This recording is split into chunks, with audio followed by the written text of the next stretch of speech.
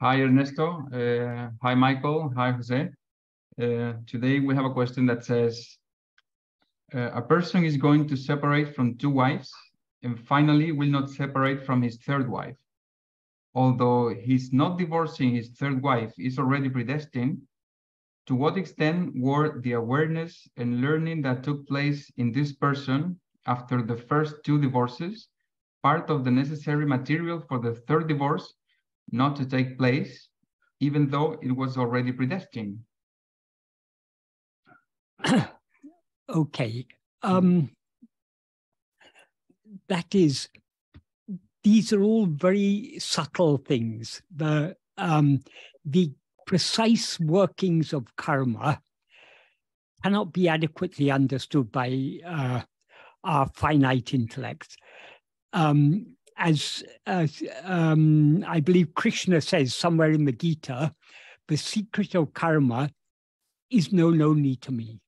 So only Bhagavan can know um, exactly what is happening. Um, we need not delve too deeply into these matters, but to the extent that we can try and answer this question, it's important to understand that the prarabdha, the destiny, is tailor made to suit our present level of um, spiritual maturity. In other words, to suit the vasanas that we have. So, um, though we are free uh, to act in accordance with the, under the sway of our vasanas, grace, which has allotted the prarabdha, um, to put it in very crude human terms, grace already has an idea how we are going to behave, what lessons we're going to learn along the way. So, um, grace knows far more than we know. Um, so, uh, it's already been predetermined. It's all that is what has been the prarabdha that has been allotted to us is allotted to us for us to learn certain lessons. And Grace knows pretty well to what extent we're going to learn those lessons along the way. So this is put it in very, very crude terms. It's obviously something far, far more subtle than this, more subtle than our uh, intellect can grasp. But um, the, it is as I say, the, the prarabdha is tailor made to suit our vasanas.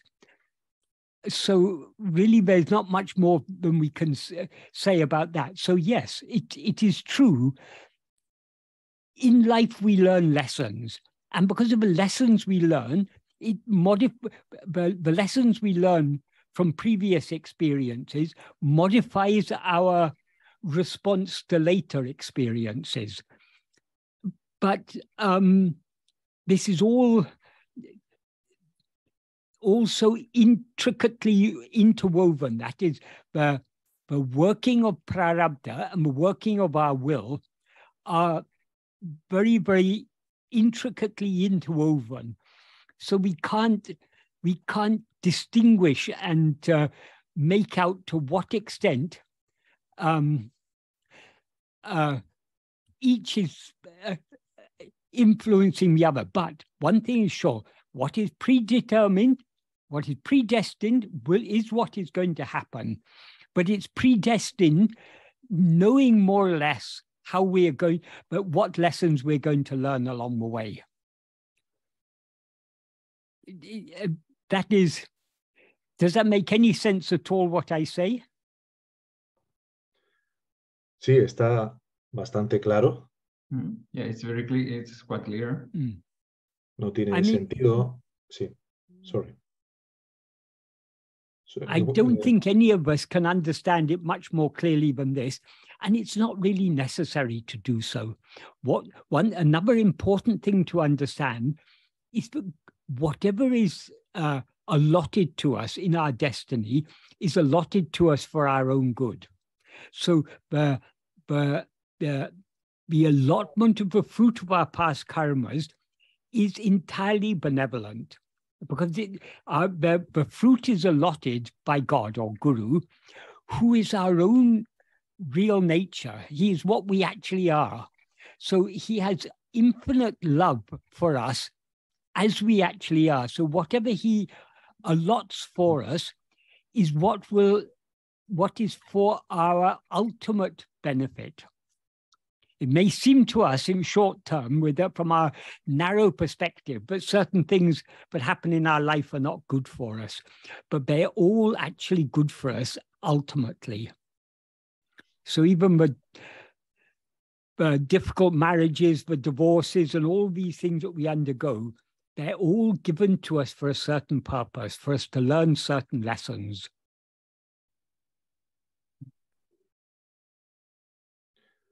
Lo, lo, que iba a decir es que hay ocasiones en las que por partir del hecho de que lo que va a ocurrir va a ocurrir.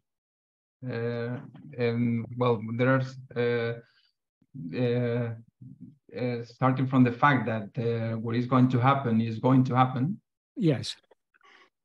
Eh, uno puede caer en la tentación de la parálisis de creer que por no hacer nada, eh, eso no es una decisión también.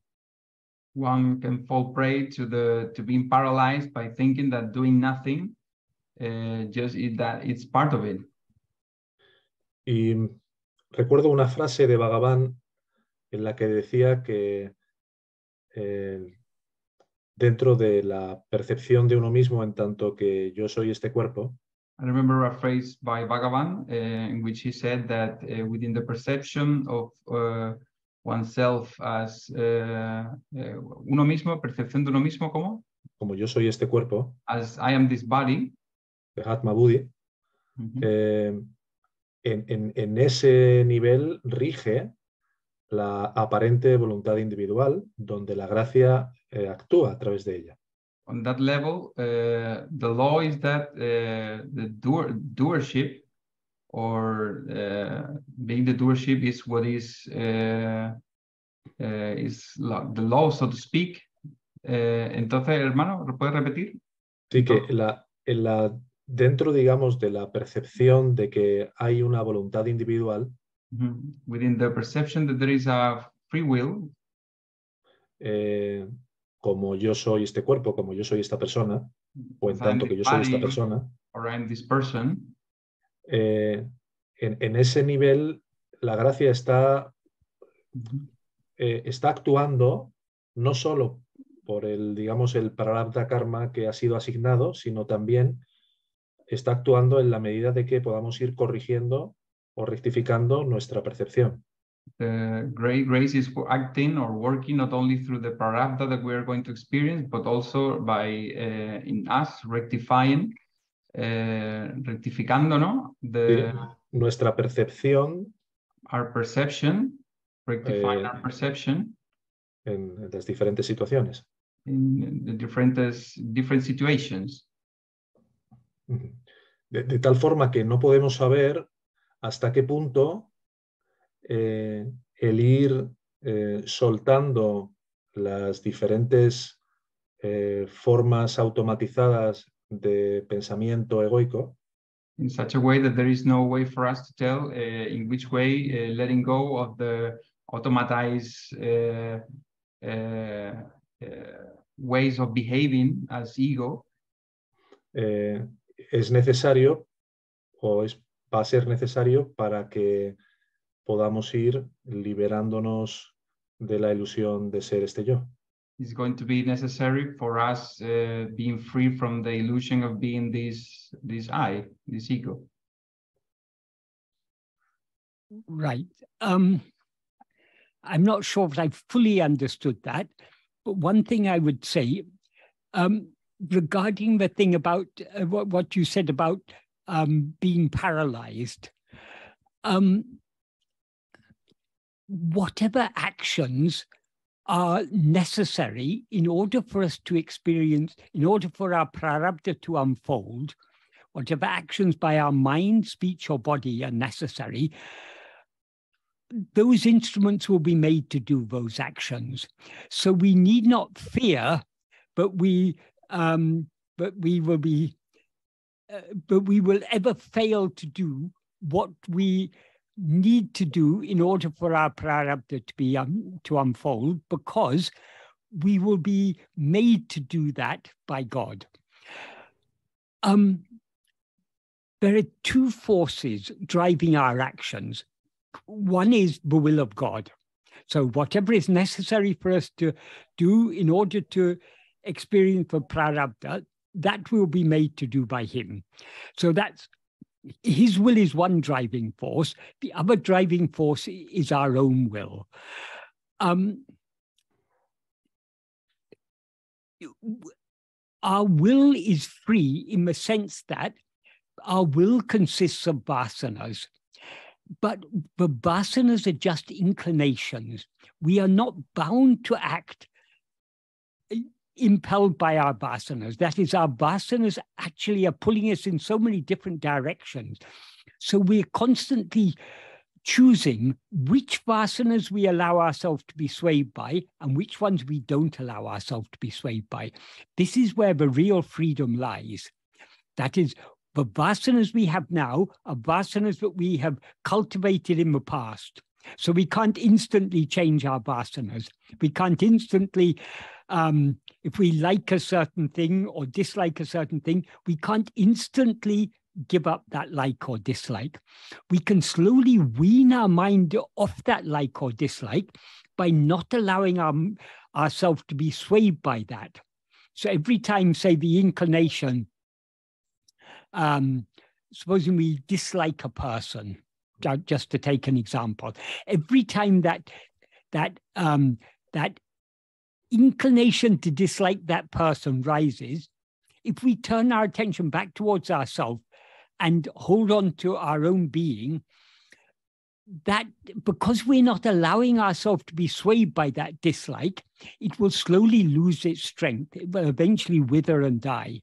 So we can we have the power to slowly um, modify our vasanas by weaning ourselves off them, but Babasana is already, I mean, Babasanas that we have at this precise moment are Vasanas that we cultivate in the past. So we can't undo what is done in the past. We can't, we can't, uh, those Vasanas have been cultivated. We, we, that is, we can't instantly undo it. We can gradually undo it by, uh, by uh, cultivating more and more love to hold on to our own being.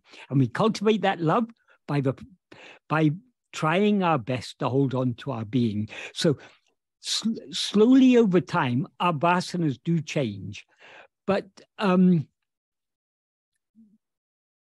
uh, the, we, the vasanas that rise at this particular moment, we we they are they are uh, uh, aroused them to the surface of our mind by grace it's then up to us either to be swayed by them or not swayed by them. If we allow ourselves to be swayed by them, they grow stronger.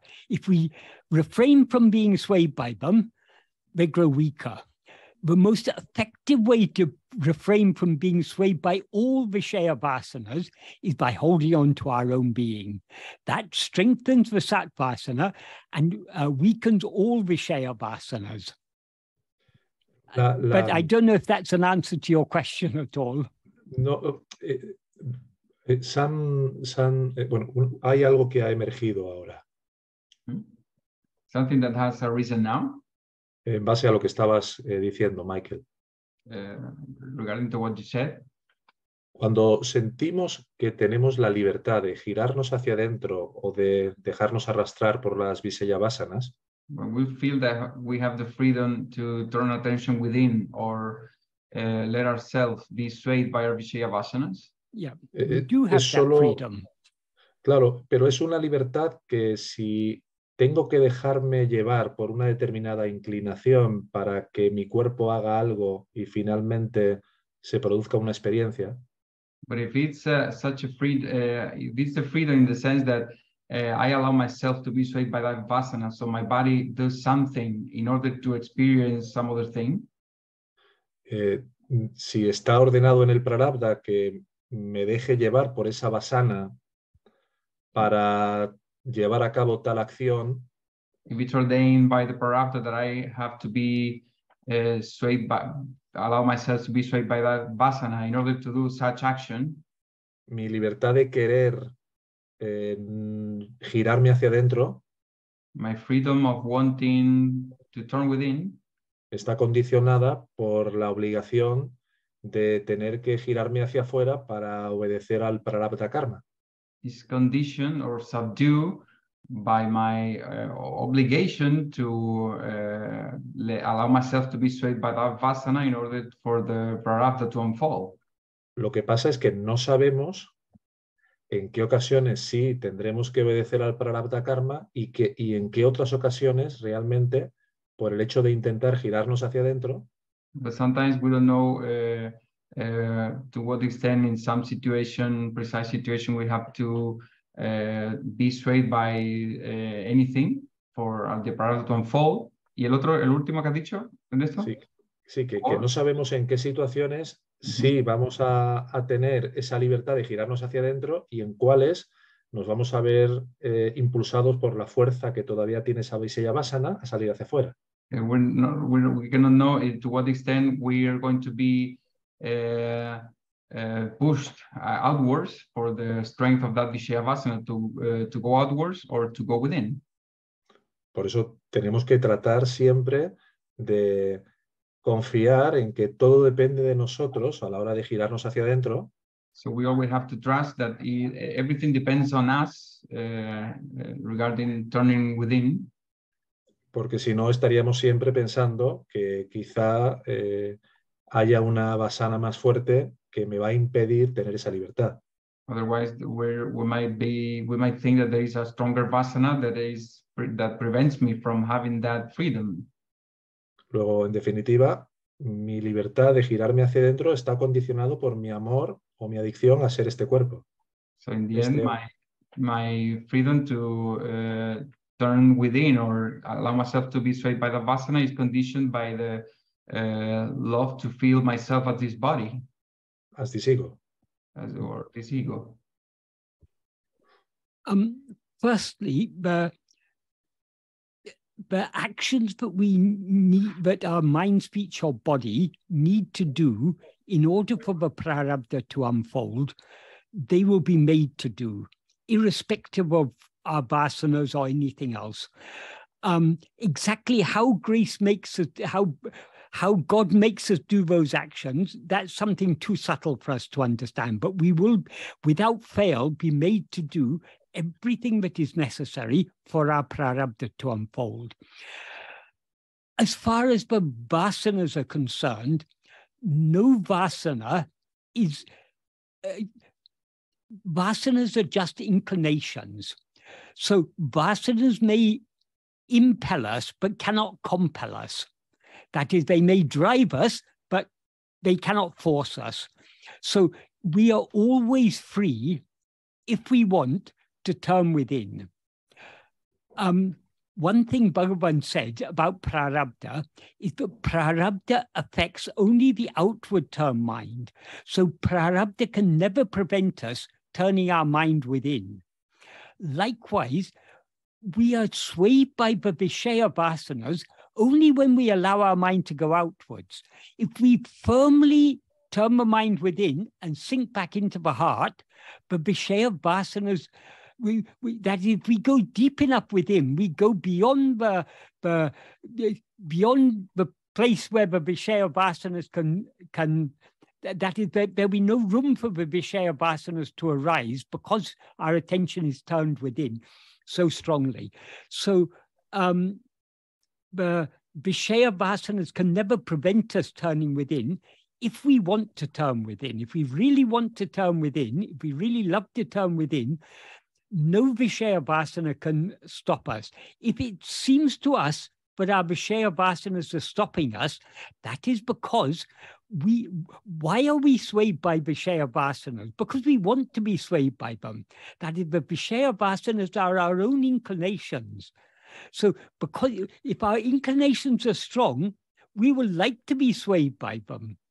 So this is it's a very, very subtle process of overcoming the Vishaya vasanas. Overcoming means not fighting with them or anything. Overcoming means refraining from being swayed by them, not allowing ourselves to be swayed by them. So it's a it's as I say, it's an extremely subtle process, but all we need to understand is that, of course, even when our mind is going outwards, we are we are choosing which vasanas um, uh, are going to sway us. Supposing we have a, a a bad habit. Supposing, for example, we we smoke. We know that smoking is not good for our health. We want to be healthy. So we've got two opposing inclination. There's one the inclination to have one more cigarette, and there's the other inclination to avoid having any more cigarettes because it's bad for the health. So those inclinations are pulling us in different directions. We are free to choose to be swayed by this vasana or that vasana. It's up to us.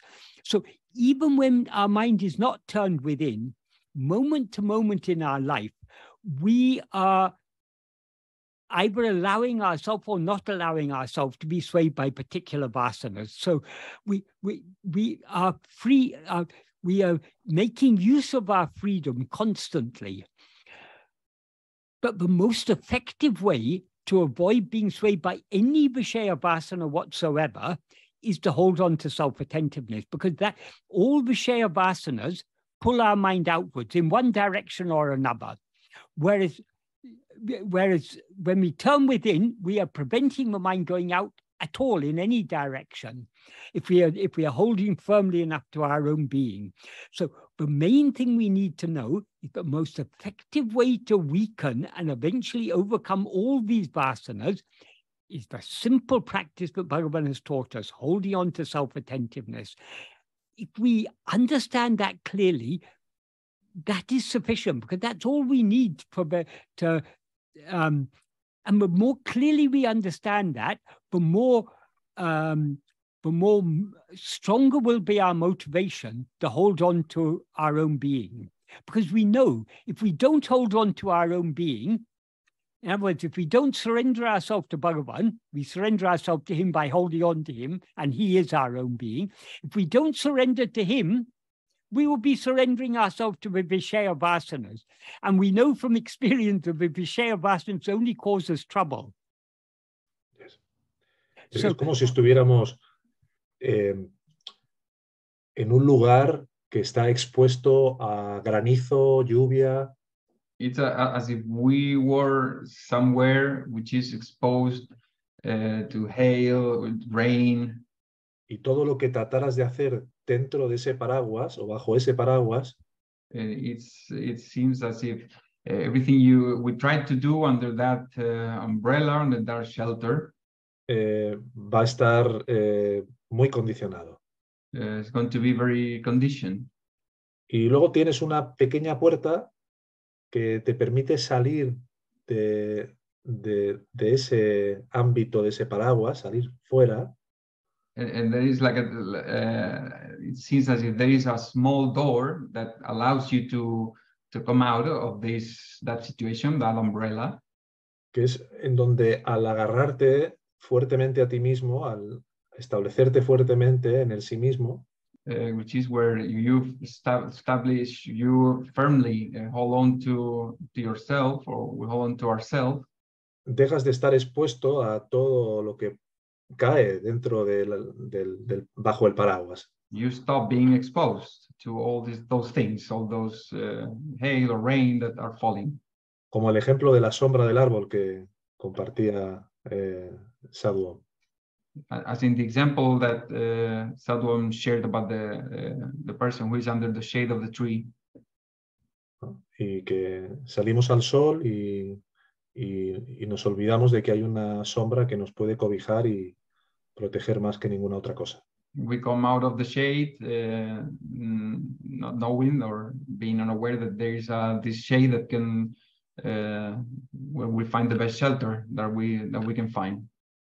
El problema que, que veo habitualmente con muchos de, de los amigos, hermanos de Yo Soy Tú Mismo, The problem that I see often with many uh, friends from Yo Soy Tú Mismo es que ha habido una, se ha desarrollado una fuerte negación a la adicción de ser un Eh, cuerpo. eh, ¿Cómo, cómo? ¿Se, se ha desarrollado? Se ha desarrollado una fuerte negación de la adicción a creer ser un cuerpo. A strong negation has been developed developed to the addiction of uh, being a body. Y porque el llegar a estas enseñanzas para muchas personas con muchos temas sin resolver previamente, Because getting to these teachings for many people who have uh, unsolved issues hace que, que- que desarrollen un mecanismo de defensa muy fuerte para negar que todavía se sienten fuertemente enamorados de su falsa identidad de ego.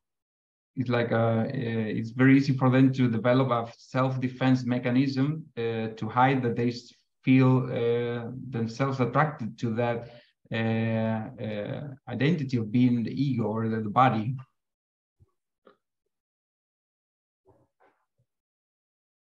um, that is we we each have to decide for ourselves what it is we we want whether we want to continue in this um we, that is we need to use our discrimination if we want to continue in this ego state we are perfectly free to do so but we there's a there's a heavy price to be paid for rising as ego, as we all know from our own experience. So uh, we all need discrimination. That is the, the, the, the wisdom to recognize, but turning outwards, going outwards is foolish. To cultivate this wisdom, the most effective means is this practice. So we all come to this path with our own past baggage, but the, the solution, whatever type of baggage we may have, the solution is the same holding on to self attentiveness. The big question is are we, are we willing yet to embrace this solution? If, this is, if we are willing to embrace this solution, this is a solution to all problems because it's the solution to the root of all problems, namely ego if we are unwilling to um, to uh, resort to to cling to this solution, we have to continue suffering until we until finally we we receive enough blows to realize how foolish it is going outwards. Once someone asked Bhagavan, Bhagavan, we read your teachings, but there's no happiness in the external world, but happiness lies only within and um, when we read it, we are convinced by it. We, we are sure what Bhagavan says is correct. But still, our mind is going outwards. Why is that? Bhagavan simply said, because you haven't had enough of it yet. So, the, the, what is the benefit of going out? The more we go out, the more we receive blows, and sooner or later we will learn the lesson going outwards is foolish. We are all at present when we, once we take to this path, we are we are dangling between two extremes: the extreme of going outwards and the extreme of going inwards. The extreme of going inwards is the solution, but we are not ready to wholeheartedly embrace that solution because we're not fully ready to let go of the world. But at the same time, we we've understood at least to some extent that the world is a problem. But, but allowing the mind to go outwards is a recipe for misery.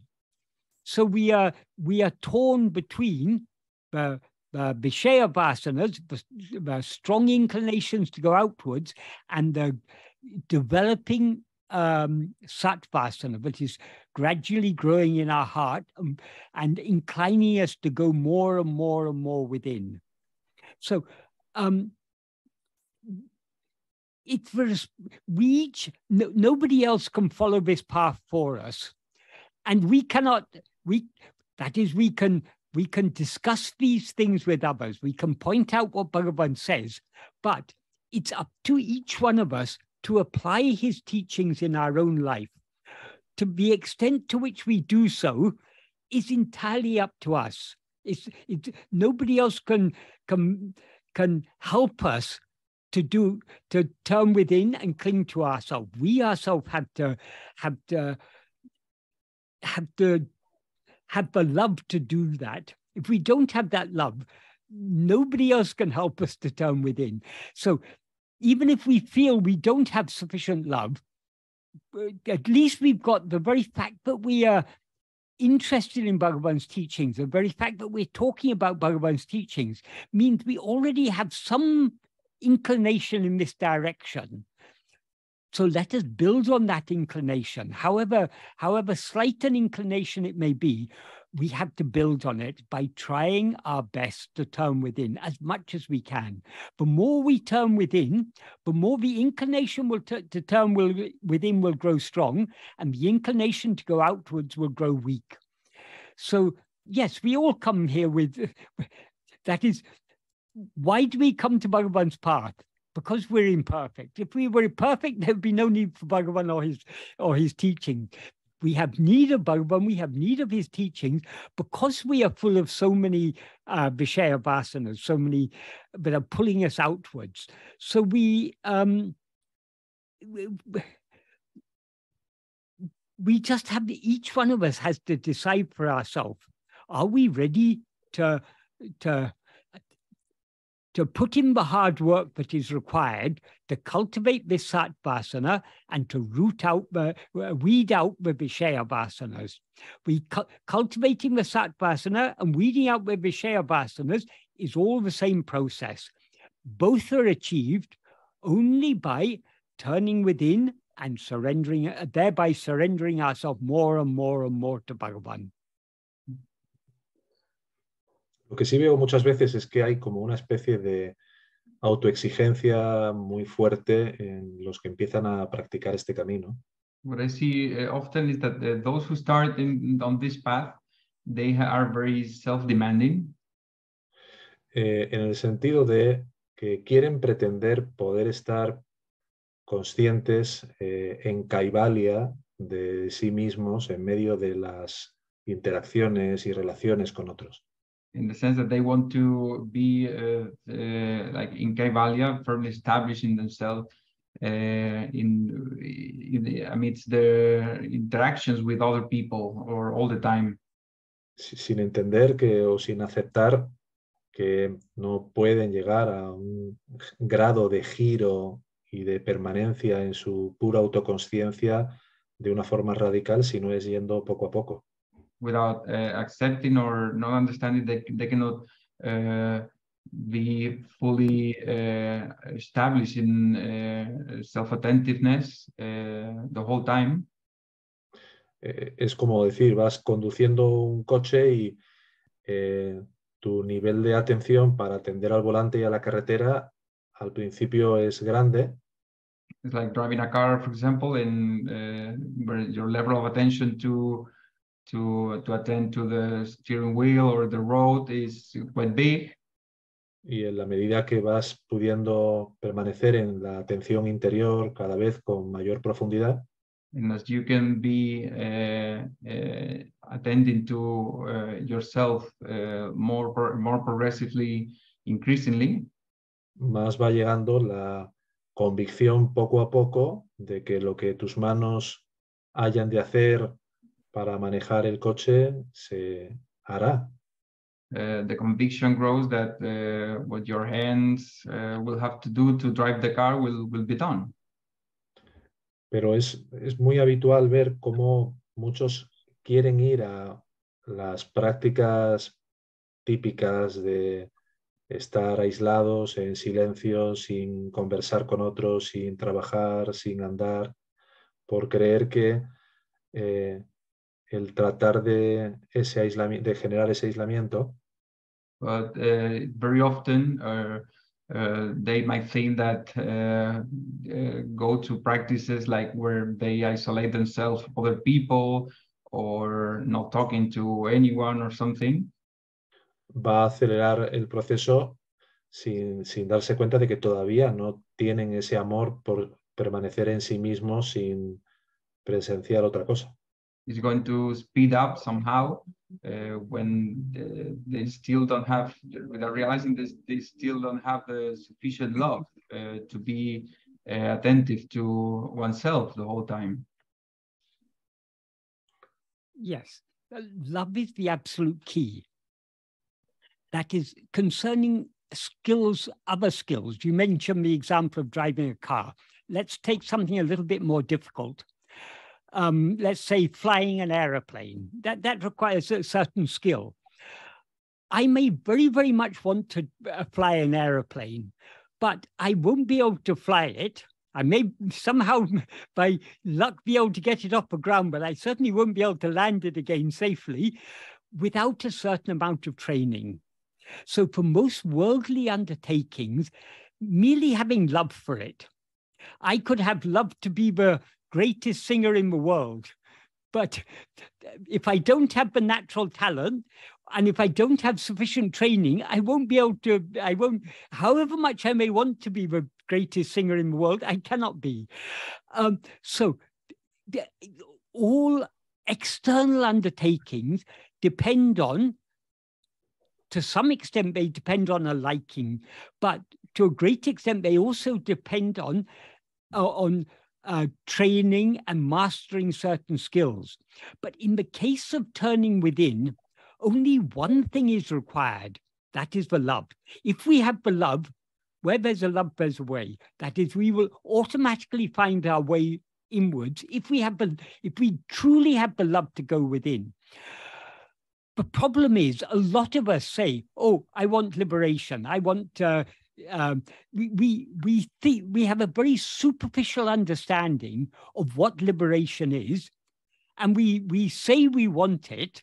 We we may even genuinely believe we want it, but we are not yet ready for it. We do, we are not truly willing to pay the price. We are not truly willing to surrender ourselves. Rather than thinking about uh, attaining jnana or attaining mukti or attaining anything, it is best to consider this path to be a path of surrender. We are not here to gain anything, we are here to surrender everything. So, are we willing if we ask ourselves honestly, are we willing to give up everything? Are we willing to cease rising as ego, cease knowing anything other than ourselves, cease experiencing anything other than ourselves, cease doing anything? If we're on, if we are, if we are realistic with ourselves, we will recognize we we don't yet have sufficient love. That is the reason why ego is still flourishing, why we still haven't surrendered ourselves, is because of our lack of love. So, um, this path is the path of love. It's also the path of knowledge. So we need to use our discrimination. We need to distinguish between the superficial um, liking on the surface of the mind to the real deep um, wholehearted, heartfelt, all consuming love to surrender ourselves entirely. Just because we like the idea, oh, mukti sounds very nice. Having jnanas, that sounds very nice. We, that that's just a superficial level of the mind. But are we really ready to pay the price for that? Because we can attain that only by giving up everything else. We can't have jnana or mukti or any of these things plus anything else. It's this or that. We can't have, because the, the price to be paid for mukti is annihilation of ego. And when ego is annihilated, everything else is wiped out along with it because everything depends upon ego. So until we are willing to give up everything, to surrender ourselves entirely to Bhagavan, to ask nothing of him, but to give ourselves wholly to him without any expectation, we are still not ready for that. So we we need to, if, if we if we understand the teachings correctly and if we are realistic with ourselves, we will understand there is only one problem. That one problem is our lack of love, our lack of willingness to surrender ourselves. That's that is all that is required. So how to cultivate, how to gain this this willingness to surrender ourselves whole, wholly, it is only by this by patient and persistent practice of trying to turn our attention within. Whenever the attention comes outwards to, to feed on other things, we need to be willing to try to turn it back within. We will fail. We will fail time and time and time again. But so long as we continue trying, we are moving in the right direction. Jose, uh, you want to say something? Uh, yes, I had a couple of questions too, um, Michael. Um, I wanted to ask a couple of things regarding the vasanas. Um, so, uh, considering vasanas, does it is a the totality of my vasanas, right? So if I could sum them up and and um, quantify that force with which yes. my goes out, the that quantity of vasanas, um, whatever hell I were to experience, cannot exceed the whatever number of vasanas I have today. So whatever hell I were to experience, my vasanas are required for that. I have to not be willing to not grasp yes. in order for me to suffer. Yes, yes, exactly.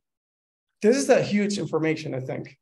Yeah, yeah. Uh, it is. If, it is, if we uh, if we suffer, it is entirely of our own making. If, if right. supposing we are put in hell, hell need not be suffering. Why hell is suffering? Because we don't like that, uh, whatever condition hell may be, we don't like that condition. If we are willing to give up that, that dislike, if we are willing to rise above our likes and dislikes, heaven will not be uh, heavenly and hell will not be hell-like. It, it, all our all our pleasures and pains are caused entirely by our likes and dislikes.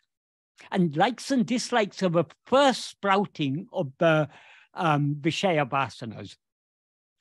The Vishaya so, Vasanas are the inclinations that give rise to those likes and dislikes. So, so every time I tip away a Vasana, I'm tipping away hell itself or any possible yeah, yeah exactly experience. exactly but the more we go deep in this path the more we are weakening the vasanas uh, that is weakening the Vishaya vasanas and strengthening the Satvasana. The Satvasana is the strength that enables us to remain unaffected by whatever um, whatever may be thrown at us. So even if we if we've got a strong satvasana, that is to the extent that the satvasana is strong, the vishaya vasanas will be weak. So the stronger our satvasana, the less we will be affected by either heaven or hell. Hell, no big deal. Okay, let me roast for a while. Hell, no big deal. Let I mean, we, we, we will we will be we will gain that Udasina Bhava. Udasina Bhava means the attitude of indifference. That is vairagya. Uh, we'll be indifferent to what is happening. Try, try to practice Udasina Bhava. Yes, right. yes. But how to practice that? We can't directly practice that. The, the way to do it is to hold on to ourselves more and more.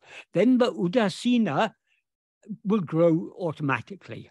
Of course, we can also do that when our mind's going outwards by trying not to be perturbed by whatever's happening, that's that's a rather indirect way of cultivating the Udasina Bhava. That also helps, but mm. the most effective way to cultivate that Udasina Bhava is by turning within more and more and more, holding on to our own being more and more.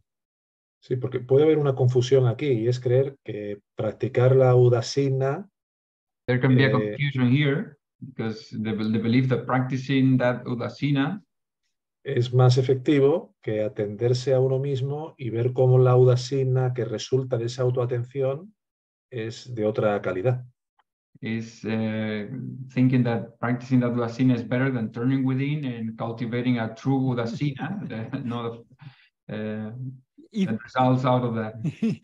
if we think we are cultivating Udasina but not turning within, then it's not Udasina. That is the Udasina means the disinclination to go outwards. And we can have that Udasina only to the extent to which we have the love to go within. Well, the problem is that turning within means I don't grasp. You don't- And uh, uh, if I turn within, I, I won't grasp anything. And Yes, exactly.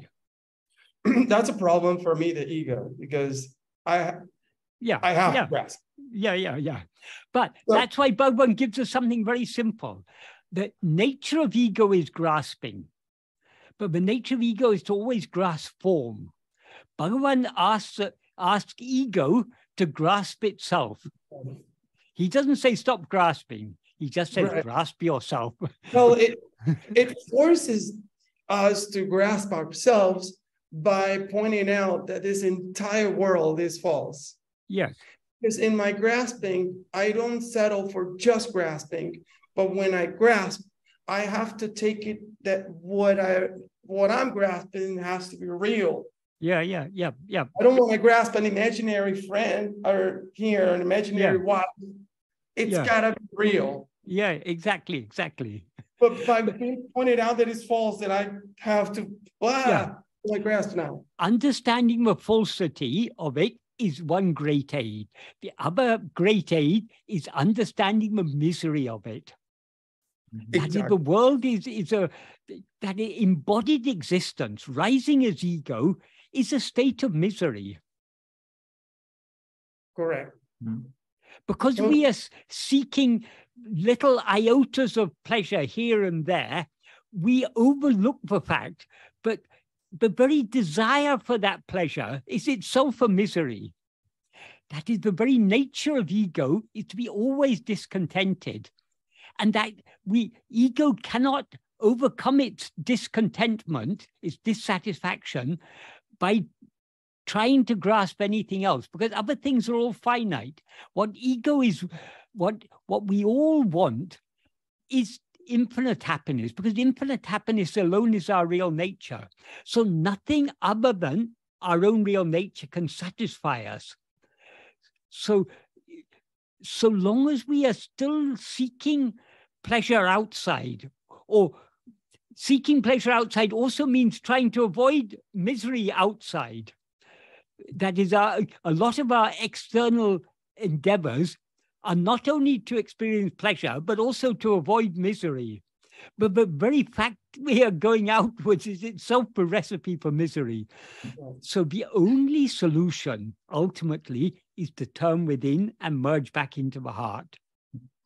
So, so, so Michael, does it follow that in this, by the same line of thought, because all the summation of my vasanas and the totality of all my, of my will represents the force in which I can experience any possible hell, the deactivation, the chipping away of all those vasanas is also chipping away any hell, but at the same time, the subsidence of all the vasanas, it's at the same time my greatest happiness.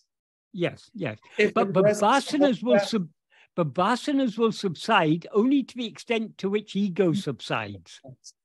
So if if um if I so if vasanas are present, problems are there. Whatever worst possible situation I can be in is dictated by my vasanas. If I chip away all of that, whatever best possible position that I can be in is just a total absence of all vasanas. Yeah, yeah. But So the absence of all vasanas is the absence of ego. The absence of means that I have, I'll be destroyed along with the Yeah, yeah, well, yeah. e- Me, the ego um, Yeah. identification. Okay, so so I, we have the keys for both hell and heaven. Exactly. It's all within us. It's all within us. It's all our own making. We it's up to us. Ultimately, we are all responsible for our own misery. Whatever misery we may be experiencing, it seems to us, or oh, the external circumstances are causing my misery. Because I've got this problem, I don't have enough money to pay the bills because of this problem or that problem. So life is full of so many different types of problems.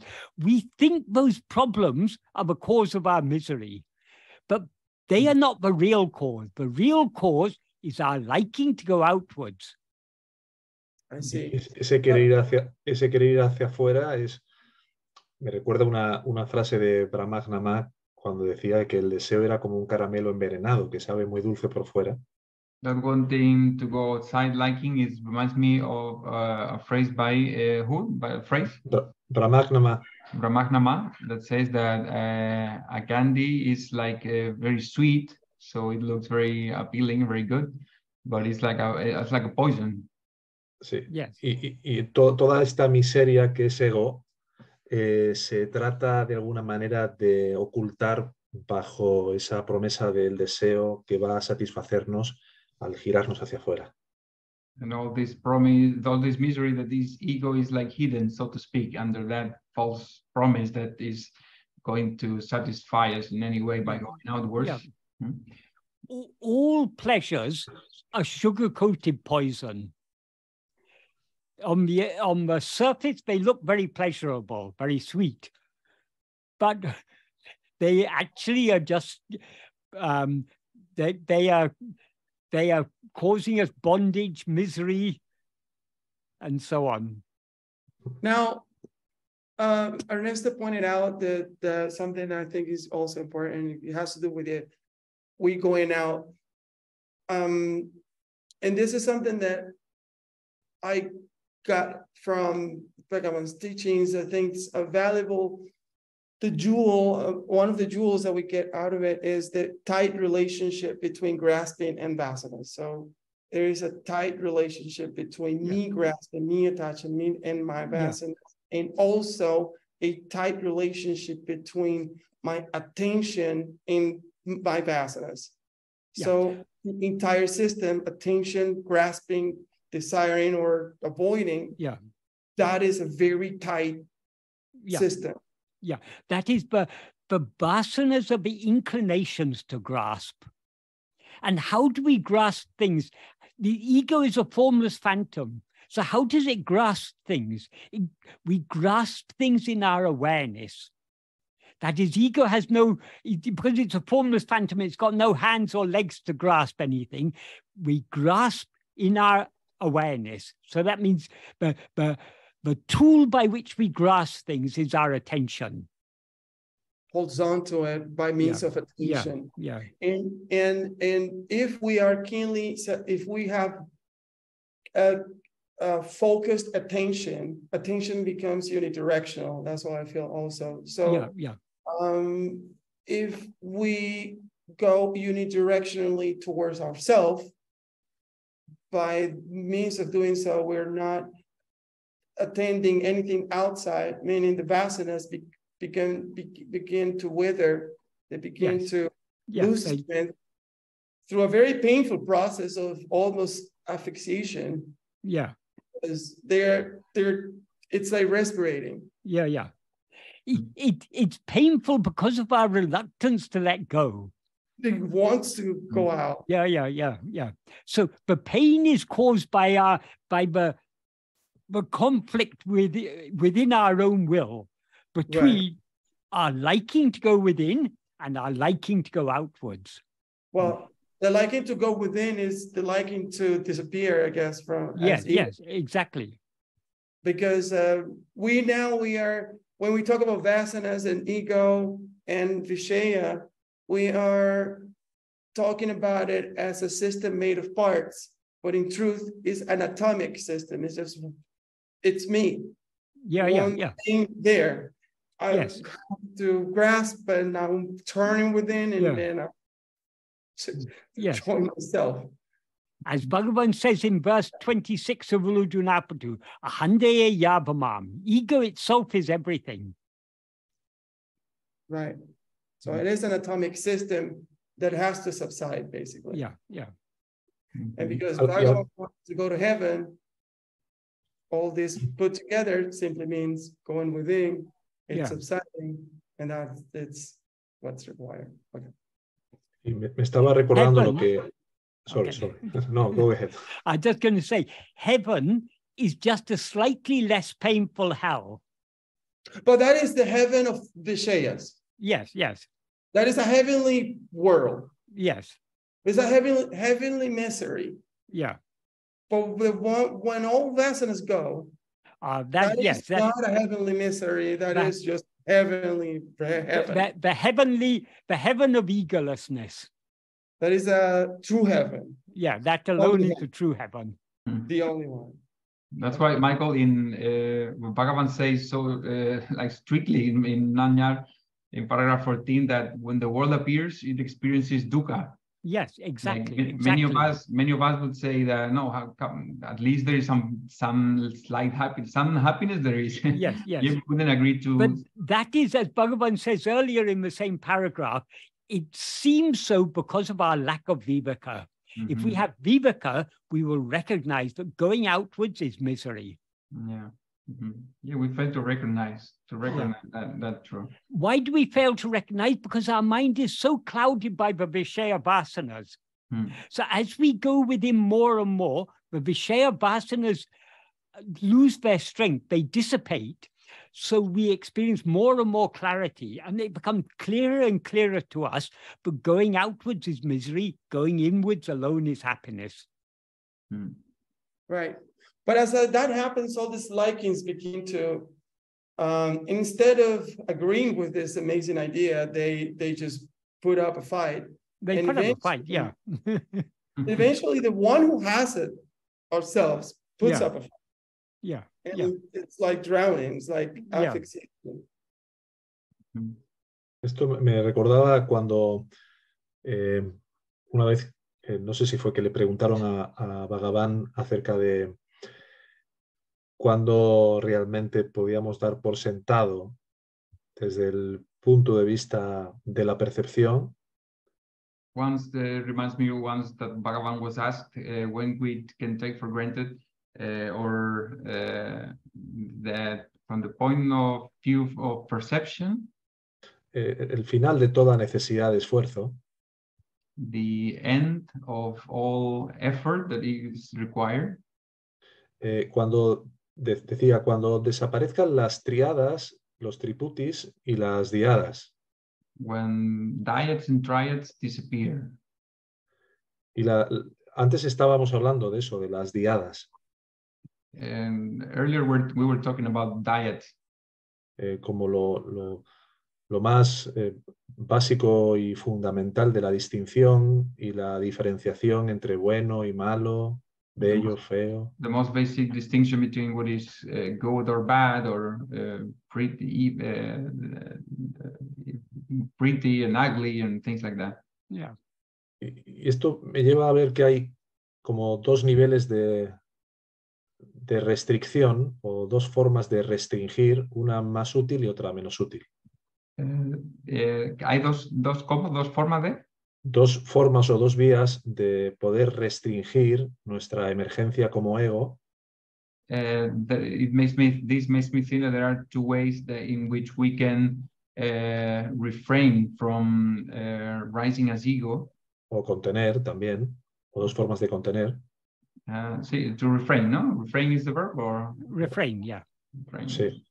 Eh, una de ellas que es muy, muy habitual y sugerida, por ejemplo, eh, por los eh, más eh, refinados cabalistas, one which is suggested by people who study the Kabbalah or uh, those who know about deeply the Kabbalah, es tratar de mm, contener el, el impulso de la bestia por querer emerger. One is to try to to contain the the impulse of the the beast, y, y la, y la fórmula que nos ofrece esta enseñanza. The formula that this this uh, teaching has for us. Es que no basta solo con restringir el, el impulso por dejarnos arrastrar por la Visayavasana, is that it's not enough to refrain from that impulse, the Vishayavasana, sino que si no te eh, asientas firmemente en tanto que la conciencia yo soy, uh, uh, if you do not uh, are firmly established as the as the awareness that we are, eh, seguirás estando eh, dentro de la gravedad de Aham Vritti, del yo pensamiento. you will be still uh, in the Aham Vritti, uh, in the what is uh, the situation of the Aham Vritti and the domain of Aham The, the domain, yes. Um, that is, if we just try to curb the Vishaya Vasana, the inclination to go outwards, firstly, it's very difficult to do so, but it is possible. Um, yoga is that that is what yoga is all about. That is why pranayama and all these various yoga practices are there, are just uh, means by which we can resist the pull of Vishaya vasanas. But without the self attentiveness, if we resist the pull of Vishaya vasanas, the mind will subside in laya. The self attentiveness is the key to bringing about manonasa. Subsiding in laya is no solution at all. It's just a temporary respite. So the, the, that's why Bhagavan put all his emphasis on being self-attentive. That's why Bhagavan said about yoga, in yoga they say, yoga's chitta vritti nirodha. That means yoga is to curb or restrain or, or to subdue the, Uh, the chitta vritti, the activity of the mind. Bhagavan said that is impractical. Why is it impractical? Because it will only, every day when we fall asleep, we restrain the chitta vrittis and we subside in sleep. But that doesn't solve our problem.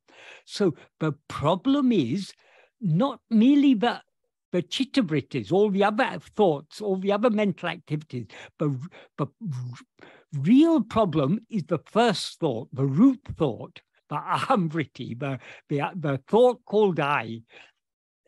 Only by cutting that can we, can we free ourselves from all chitta vrittis. And how to cut that ahamvriti? That ahamvriti is the false awareness, I am this body. Why is it a false awareness? Because this body is not what we actually are. So it's an awareness of ourselves as something other than what we actually are. So it's a false awareness. How to remove this false awareness of ourselves? The only way is by correct awareness of ourselves.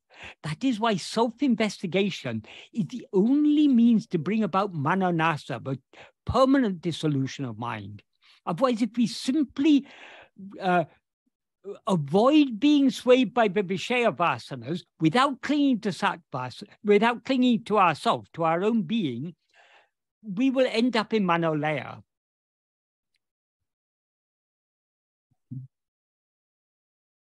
Sorry, I raised that, my hand. That is why Bhagavan says, for example, in verse 16 of Upadesa he says, he begins with the clause, Vele videngale vittu. That means uh, um, giving up uh, external vishayas, external phenomena. That is an adverbial clause. That, so it's only a, a subsidiary clause. The main part of the sentence is manam tan oli uru ordale, the mind knowing its own form of light. Their knowing is not a participle, it's a verbal noun. So that is the subject. The mind knowing its own form of light is the subject of the sentence and or delay a that a is a is a is that emphasizes that so that means alone but mind knowing its own form of light that alone is unmayunachi the, the real awareness or awareness of reality so in order to turn the mind within to know its own form of light. Its own form of light is a metaphorical way of saying its nature is pure awareness. That is the light of pure awareness is what Bhagavan is referring to there. Which and why does he say its own form of light? Because that's our real nature. That that light of pure awareness that's ever shining in our heart, as I am. That is our real nature. That is what we actually are. So, in order to turn the mind within, we need to let go of other things. But if we just let go of other things without turning the mind within, we will subside in laya. So, so Bhagavan's emphasis is, is not on trying to avoid the external things. His emphasis is on going within. That's why in the sixth paragraph of Nan Yar, he says, Etane eningal erinomena. However many thoughts arise, so what? Bhagavan doesn't ask us to be concerned about the thoughts. All he asks us to be concerned about is turning within. If we turn within, automatically the thoughts will subside. But if we're struggling to, to, to make all thoughts subside, subside, to suppress thoughts by controlling our breath or by any other means, we may be able to achieve that. But the result is just a temporary state of dissolution. It's not cutting at the root.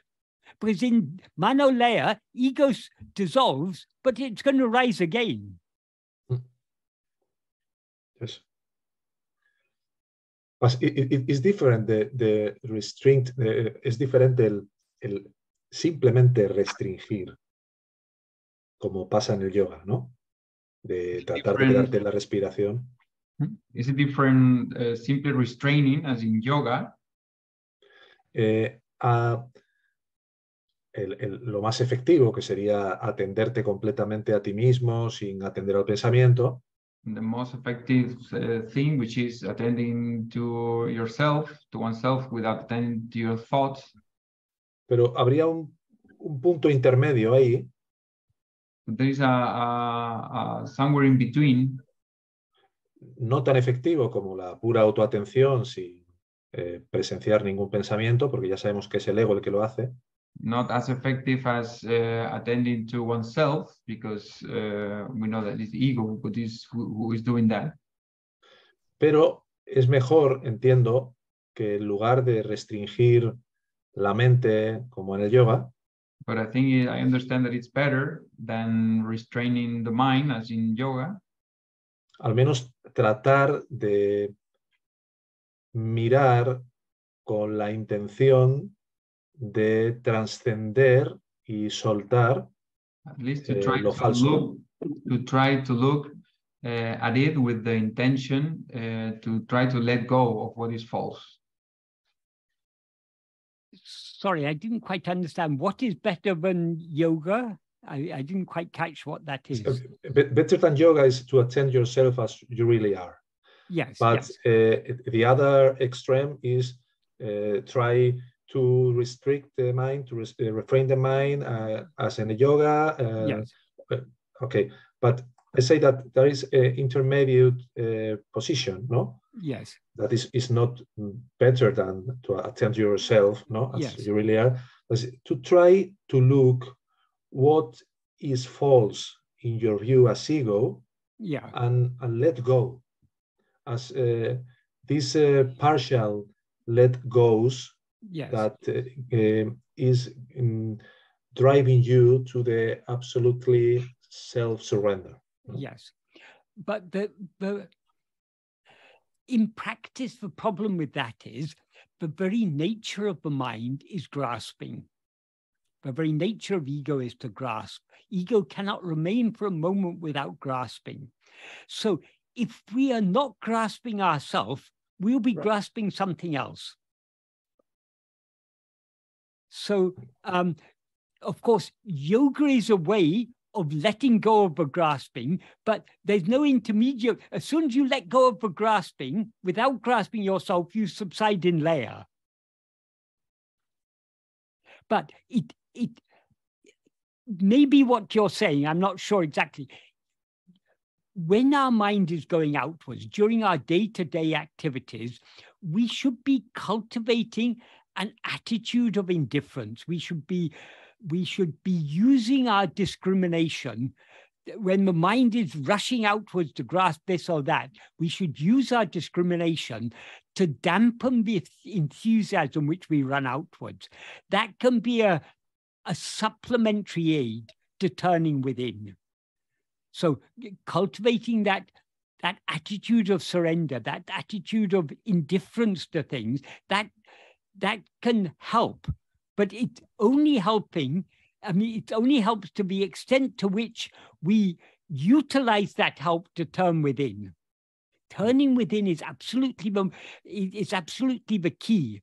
If we are if we are practicing trying to turn within, automatically we will become indifferent to other things. Automatically we'll be less concerned about the problems of life because we'll be seeing more clearly. But problems from beginning to end, our life is full of problems. But the problems that we're facing now, after a year, we will have forgotten about these problems. The problems we were facing a year ago, we've forgotten now. So problems is the very nature of, of life. I mean, there will always be problems of one sort or another. But the clearer the more we go within, the clearer our mind will be, and the clearer, more, the clearer it is, the, the more we will clearly recognize these. It's just not worth expending our attention on worrying about these problems because problems sooner or later resolve themselves in one way or other. Mm-hmm. For example, the problems anyway, it all comes according to prarabdha. So the same prarabdha that has given us the problem will also give us the solutions to the problem. So we using our discrimination uh, to to to um, reduce the um, momentum with which we're rushing outwards is beneficial. But we can use our discrimination that we gain that discrimination to and the necessary vairagya to do so only to the extent to which we go within. So the key to success in this path is turning within more and more and more.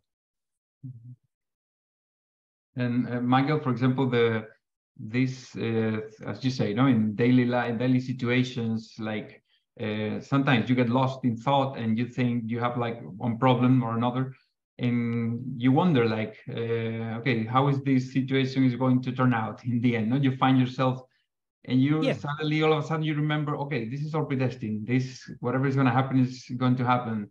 Yes. That's just a help obviously. Yeah uh, yeah. then you have to uh, have to turn within. Yes yes another yes. way for example as jose pointed out before is the see at least uh, understanding that the the world is uh, false. Uh, yes, yes, is all with because I think many, many things that are are derived from the belief that the world is is is, is uh, exist all by itself. Yes, because yes. For example, I don't know if the, if the world exists independent of our perception of it, then there there has to be some true happiness in there yeah, or yeah, yeah. there is the uh, the truth can be out there and not here yeah. this yeah.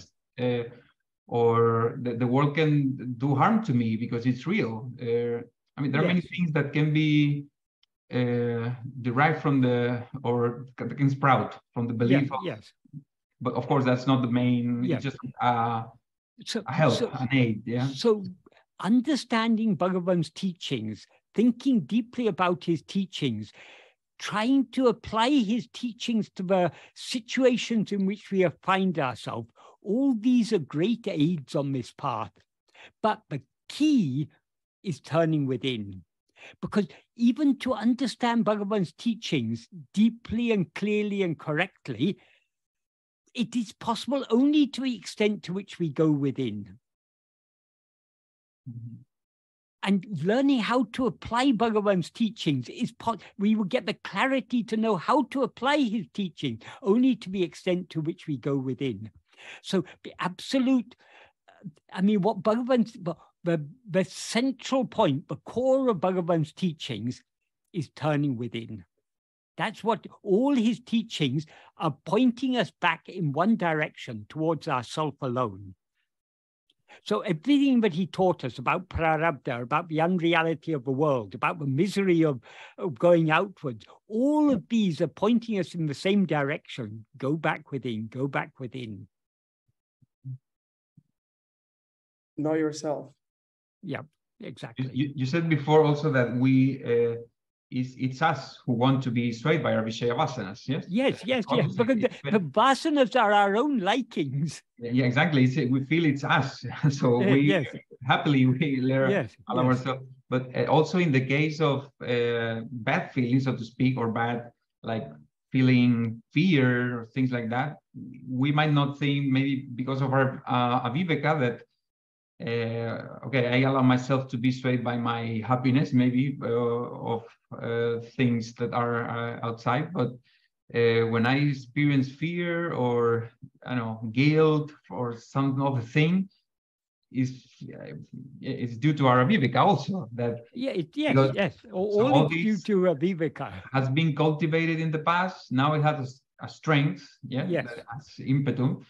Uh, so has a lot of momentum Yes. And as you said before, we cannot cut it all of uh, uh, from in one split second, obviously. Yeah, yes. Yeah. So it's going to uh, have some momentum. Yeah. Like yeah. it's going to be reduced over time. Yeah. Yeah.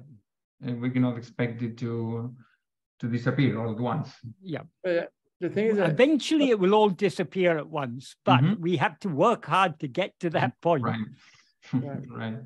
The thing is, we like the, the problem is not only that we like or dislike things, but that we like them and dislike them with full force. Yes, yes, yes. The, the emotion that is the emotional thought, um, the emotion, what we, our emotional investment in our likes and dislikes and so on is, is the is the where the real strength of them lies.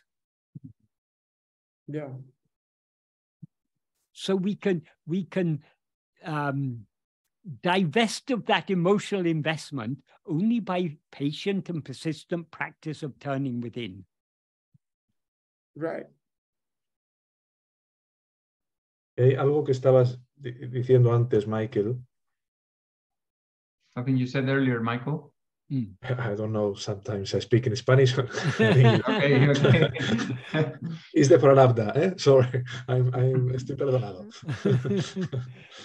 um, uh, I, I, try to speak in English, okay? uh, before you said, Michael, that the point uh, is that the inertia of ego is always trying to grasp, no? Yes. And if, if you try to understand how are you moving or uh, driving for your vasanas to this emotional activity of this like or dislike no mm. uh, with instead the, the the the the intention that you really have mm. instead of the good intention of you to try to not be swayed by by this uh, Vishayavasana, you are in the in a place or in an in, in a in a in a form of ego and your nature is grasp. Yes. And it's, it's better to go out of this influence, of this nature, of always be, trying to be grasping, uh, than uh, try to understand and uh, um, and give up any uh, thoughts uh, that comes from ego. No. Mm. Yeah. It's, it's, very it's very important that, that that is we can never give, without giving up ego, we cannot give up grasping because grasping is the very nature of ego. So the only way to overcome ego is instead of grasping other things, which is the which is the normal, the natural uh, uh, way, the natural direction of ego is to be going outwards to grasp. We must we must train ourselves to, to try to grasp our own being.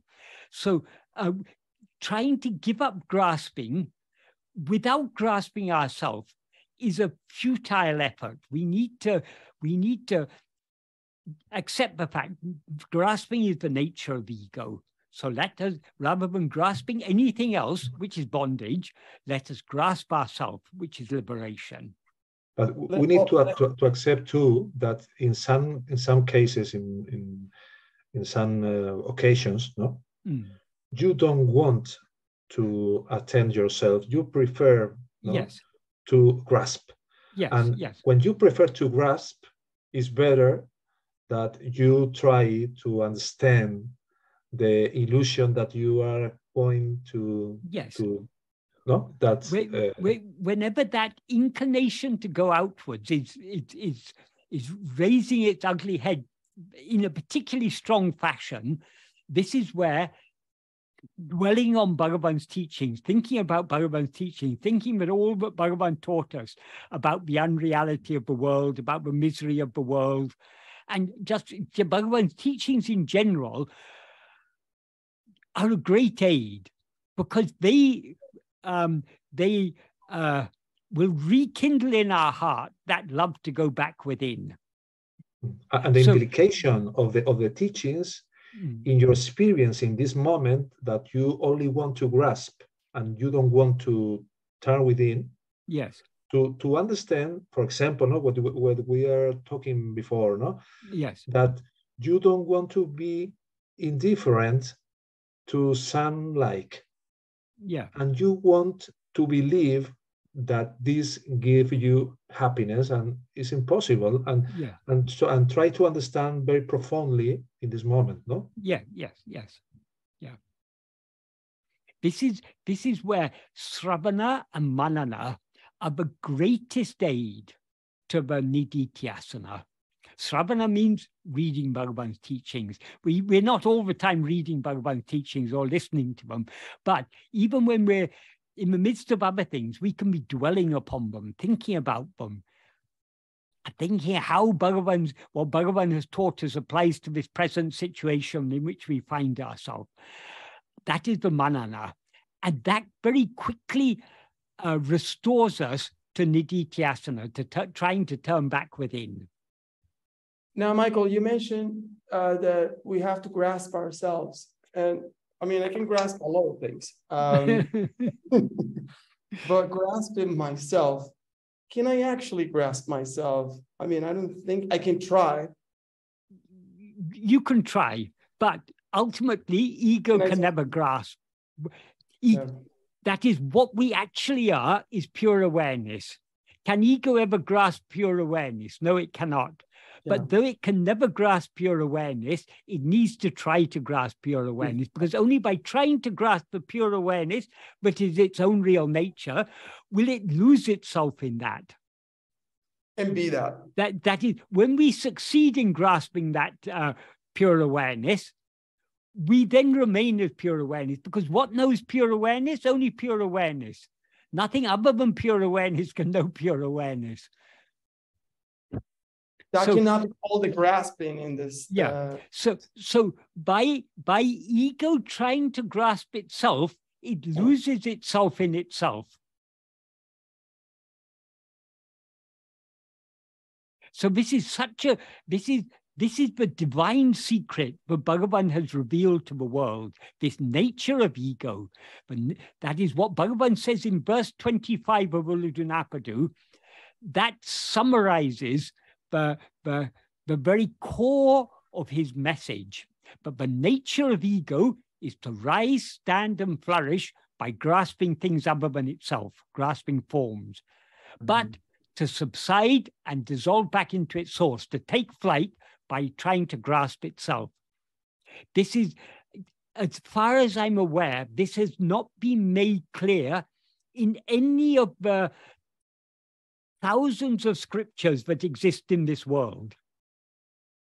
But this is the absolute key to, this is the key to liberation. That takes flight. It's very deep.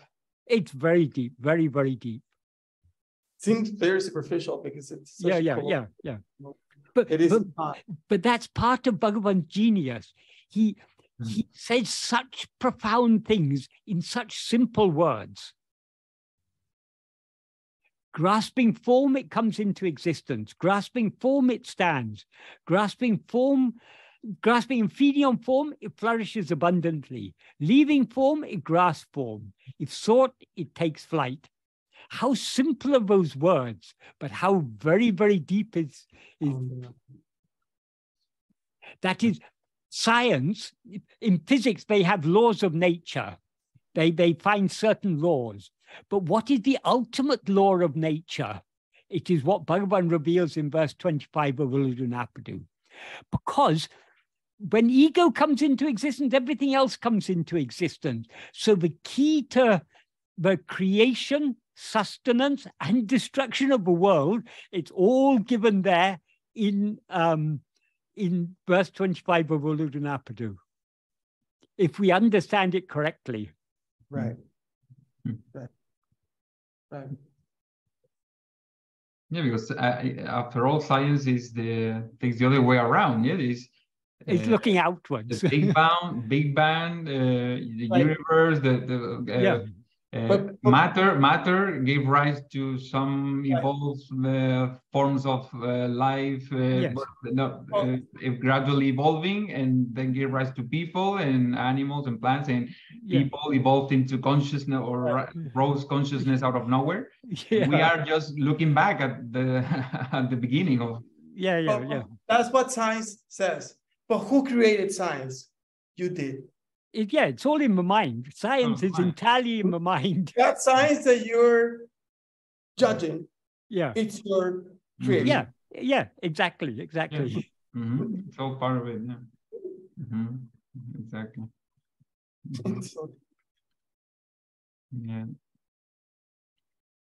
And well, go, going back to the to the original question, Michael. Yes. Regarding the uh, separation or yeah yeah uh, there is the the whole thing is very com complex yeah because um let's say that uh, well you you had two wives yeah and mm. the third wife you had you didn't you weren't supposed to yeah to yeah. separate from that wife so uh or, or the opposite let's say you have to also to have a third divorce for example yeah, yeah we we just see the third divorce happening Mm. And and we might say, okay, it's obvious, no? You know, this your behavior is bad to her. Yeah. You, know, you are rude. You are very. You don't do anything. You just. Yeah. Uh, so it, that leads seems to lead to the divorce, but yes. the divorce was just a fruit of things that you did in the past. Yes. That is assigned to you, right? Yes. Yes. So we, we don't know what actions you did yeah. Uh, in order for the divorce to happen. Yeah. Yeah. But uh, that the complexity there, because we uh, we cannot account for the all the things that you did as the real reason for the divorce. No, no. Right. Even though they seem they seem to be the, the reason for the divorce, no? Yeah, yes.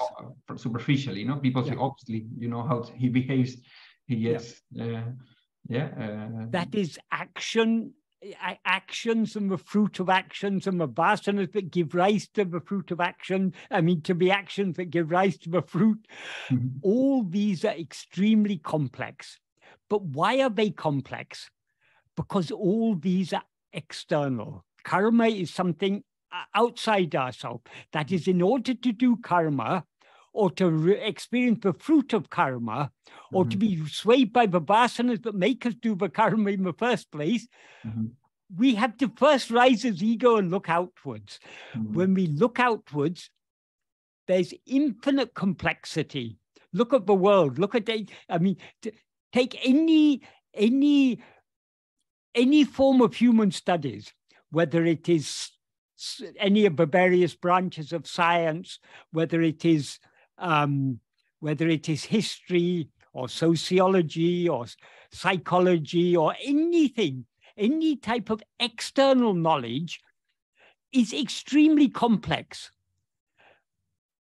But it, it, all that complexity is unreal. The, the underlying truth is extremely simple. The underlying truth is one only without a second. And what is that one? We are that. So if we if we allow our mind to go outwards, if we are, I mean, the reason Bhagavan taught us this law of karma is to make us understand that we need not be concerned about this prarabdha. We need not be concerned about these things. All we need to be concerned about is turning within. But if we try to dwell on this law of karma, try to understand all these things, we are just, we'll get bogged down in unnecessary complexity. Bhagavan's teaching is not pointing at the prarabdha, but what he teaches about prarabdha is intended to point us back at ourselves. You need not worry about prarabdha. You need not worry about karma. Who is the one who does the karma? Who is the one who experiences the fruit of the karma? That is what we should be concerned about. That is very, very simple because the, the doer of the karma and the experiencer of the fruit of the karma is one fellow, I, this ego. So if we investigate that ego, we cut up the very root of this vast, complex tree of uh, karma, this tree of samsara, this great ocean of action, as Bhagavan calls it. it. It's all extremely complex if we look outside. But if we look back to who am I, the doer of karma, who am I, the experiencer of the fruit of, of karma, we return to the absolute simplicity of our own real nature. Now, I also have a question there. Sorry. Yes. If he looks at that marriage certificate, whoever is divorced, I'm not sure. Yeah. The person who's divorced, he looks at the marriage certificate. Check it if you read it carefully. It'll have a name. Yes. Person's name. Yes. Peter, John, whoever. Yeah. We this mind um, takes some this person as I. Yeah. Now I will just to illustrate. I'm this is a basketball. Yeah. The, this basketball does not have the option to say it's a soccer ball. Yeah. But somehow the mind plays that trick. Yes. It pulls the trick to say it not being a person. Yes. Takes a person as I. It's the only thing I know can actually pull that trick, but it's still a trick. Yes, yes. Mm-hmm. So that's the the divorce and the marriage is for the we experience this uh, for ourselves because we because take we take ourselves to be that God. person who's involved in that. right. Yeah. yeah. Likewise, the whole prarabdha, prarabdha is not for us. It is for the one who takes, that is, prarabdha is for the person. Right. But, but one who experiences the prarabdha is the I that says, I am this person. Right. If we, so we don't have to experience prarabdha. The choice is ours. We can turn within and thereby not experience for prarabdha. We have to experience for prarabdha only when we allow our mind to come outwards. That's why Bhagavan often said, prarabdha affects only the outward term mind. It can never prevent us from turning within. So if we want to be free of prarabdha, if we want to be free of the fruit of our past actions, we need to turn within. And by turning within, not only will we free ourselves from the fruit of the actions, we'll free ourselves from the actions we're doing now. We'll separate ourselves from both the doer and the experiencer. We are the doer and experiencer only when we rise as ego and look outwards. If we turn within, ego will thereby subside and the doership and experiencership will cease. This is what Bhagavan says in verse 38 of Ulladu Narpadu. If we are a doer of actions, we will have to experience the resulting fruit. When, we, when one knows oneself by investigating who is the doer, doership will depart and all the three karmas will slip off. Um, there is something that, for example, when we say the what we're mm, we're going to live in this life as prarabdha is the mm. result of the fruits of the fruits of the of the um, agamyas, no, yes. of the last uh, lives. Yes. These these fruits are mental causes. Uh, I say, for example, no, mm, if I try to to lie to persons in mm. some lives, mm. this tendency, this is Vishaya no, uh, can be at the same time a tendency, a vasana, and at the same time a fruit, no? I, I need to live experience where something, someone are going to lie me, for example, no? Mm. To I understand yeah. what what is uh, what uh, what I don't uh, I don't see about uh, about the lie, of, all the the misery of of lying, no, in the life, no. Yeah. If this cause uh, my belief in attack, my belief in lie, my belief in in uh, whatever, no, is transcends because I detect the disillusion and the, that all is going to give me more more uh, suffering in my life. Mm. In taking this to the example of the third wife, no. Mm. If I give, give up absolutely this uh, intention, absolutely, eh? mm. this intention to lie, this belief in the lies, or, or, or whatever. Mm. Maybe the, the reason that finally I continue with my third wife yes. is accord with this uh, inner transformation. Yes, yes, yes, yes, yes.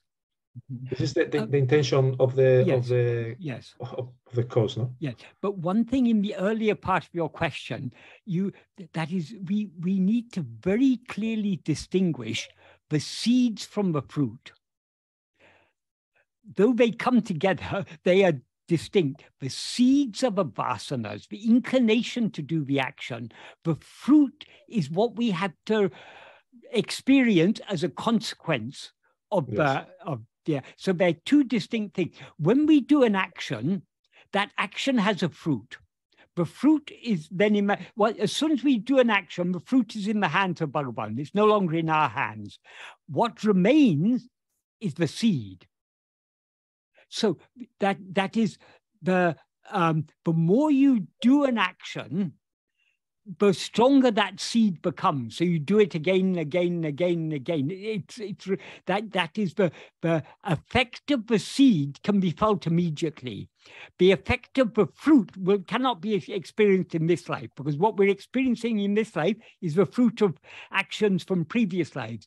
But the the seeds, if you start to um to wean yourself off certain vasanas now, you get an immediate benefit from that. So, in the case of this uh, of the, the marriage, if you learn from your past mistakes, but if I lie, it leads to discord and uh, and that eventually leads to the breakdown of marriage. So you can, whenever the urge to, whenever the inclination to lie rises, no, let me not lie. Let me be honest. Let me uh, tell the truth. Let me be. That changing your behavior is possible to affect in this lifetime itself, but you cannot change what is destined. If, if but, that, but, but it's possible. Is destined to end in divorce. It will end in divorce, whether you yes. like it. Well, however much you may reform yourself, it will still end in di- yes. divorce. If it is not to end in divorce, even if you neglect to yes, absolutely. Yourself, but if you don't know if your divorce uh, is will happen, yes, maybe what is necessary to to to happen for you don't divorce. Yes is this transformation between. Yeah, yes, yes. But the transformation, if you transform yourself, if you give up lying, for example, you are, that that giving up lying is itself its own reward. Whether it but it's not going to change whether you get divorced or not because that's already been uh, predetermined. Mm-hmm. However, we can't say they're completely disconnected because the, the, the prarabdha may have been um, may have been um, allotted in such a but may have been allotted by grace by Bhagavan, knowing that you have the maturity to learn certain lessons in this life. So that's why I say the, the this is why Krishna says in Gita, the secret of karmas cannot be understood by anyone but me. This is why it's we really need that is we need to have a basic understanding of basic principles of the law of karma. That's all. We shouldn't try to to to puzzle over it too much because it, it's we're thinking about things other than ourselves. Actions are not ourselves. The fruit of actions are not ourselves. But vasanas are not ourselves. So it's all. Um, it's useful to have an understanding of this because that will help us to turn our mind within. But we shouldn't be dwelling upon these things. Um, that once we've understood it, okay, that's sufficient. We don't have to dwell more upon it. If we dwell more upon it, we haven't understood the intention with which Bhagavan is teaching this. That is always with Bhagavan's teaching. We need to understand not only what he says, we also need to understand the implication of what he says, and we need to understand the intention of what he said. Why does Bhagavan say this? What, what is the use of teaching this law of karma? How does it benefit us? Anyway, prarabdha is going to happen anyway. So what does it, what difference does it make whether we know about prarabdha or not? The difference it makes is if we understand that everything is going to happen as it is destined to happen, we will be less concerned about, uh, or um, this time I must avoid, uh, I must behave myself so I must avoid getting divorced. We, we can be dwelling, dwelling too much on these external things. The only purpose of our present life is to turn within. That the only substantive change we can make in our life is by turning within. So we shouldn't be concerned. We should understand the basic principles of the law of karma. We should not try to, to investigate the details because the details are unimportant. But basic principles are there to teach us, but we shouldn't be concerned. We need not be concerned about the external life. What we need to be concerned about is turning back within. So um, when we first get the the teaching how karma, the entire yeah. system works, it seems pretty, um, I say, magical. And to be honest, I mean, it's a, yeah.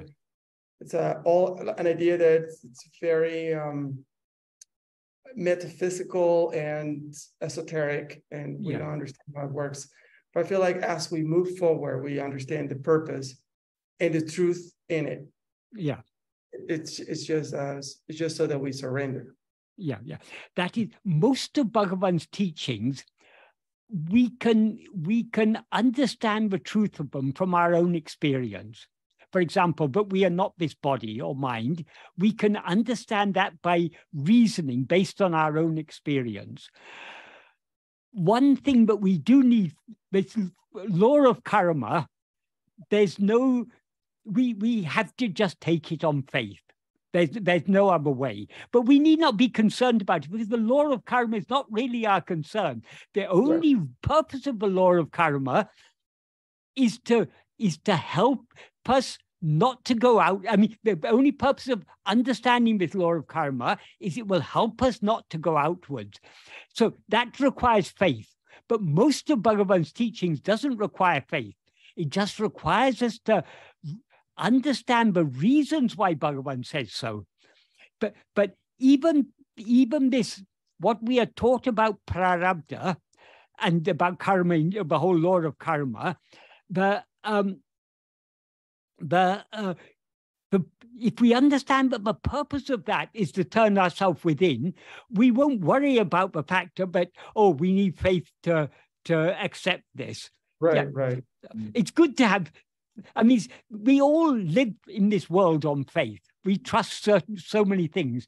When we go to a supermarket and buy food, we trust that that food is going to nourish us and not poison us. So we, we, we don't test every bit of food to, to, to make sure it's not poison. We take so many things on trust. We trust our parents when we're small. We trust our teachers. We trust the, the news. We trust so many things. Um, and we can't live in this world without trust. So it's reasonable to trust this law of karma because of the benefit we get from it. If we understand it correctly, it will it will help us to turn us, us with our mind within. That's all that is all we need be concerned about. The sole aim of Bhagavan's teachings is turning our mind, is to to to uh, prompt us to turn our mind within, because that is the only solution to all problems. Yeah, I think it also helps to um, chip away on one very important and problematic feature of ego, which is doership. Um, because yes, um, doership is inevitable. I mean, doership is the very nature of ego because when we rise as ego, we always take a body and mind as ourself. So the actions of that body and mind are actions done by me. I am thinking, I am speaking, I am, I am talking, I am, uh, I am uh, sitting here. So right. all these, the, the doership is inseparable from ego. But if ego, if me as ego were to totally take on board the Prarabdha idea that Bhagavan yeah. is giving me, if I were to go full all out with Prarabdha, even this conversation itself, every word I'm saying, it's something that this body mind system is saying. I have nothing to do with it. Um, if I turn my attention within, it, it wrecks the entire my entire ego nature because then I'm not doing anything. Yeah, yeah. If at every moment, every second, I just this is Prarabdha. That's Prarabdha. Yeah. Oh, that's Prarabdha. At every moment of my life, from mm. here until I die, well, I will not be there to die because yeah. I need, in my grasping, I also grasp and perform action. Yes. But, I cannot have a wife and not say that I didn't. It's like, oh, this beautiful wife, it just landed from heaven Bhagavan gave her to me. No, I'm never. Yeah.